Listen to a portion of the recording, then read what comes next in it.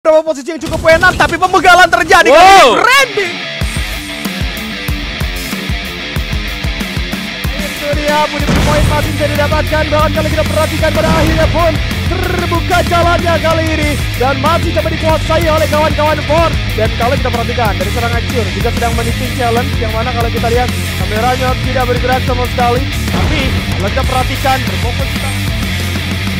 Kita harus dihilangkan dan kita melihat juga di mana lebih prefer untuk ready to fight untuk di ronde yang ke-8 ini. Semakin menyulitkan langkah pergerakan Kalboku cukup mengagetkan. The Spirit tiba-tiba bermain dengan ofensivitas yang cukup tinggi. Dan kita melihat juga Gary tersisa sendirian. One versus agent dua melawan satu. Tetapi kita melihat juga satu tukar satu. Dan kita melihat dari Santian seorang Ocha. Oh my god DY15 ada speed up-nya berhasil untuk mendapatkan sebuah pick up di jalan pas comeback-nya. Dan di sisi lain seorang Trickster juga mendapatkan seorang Kingsman. Di arah belakang seorang Ocha pun mendapatkan sebuah pick up from behind. Dan Yes pun harus ditumbangkan di arah depan juga seorang Phantom bertahan tetapi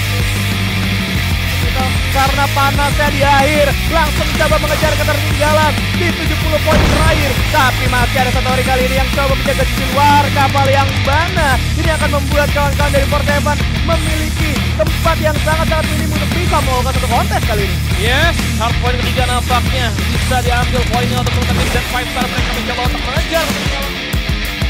Tawaran yang cukup berasa untuk saat ini.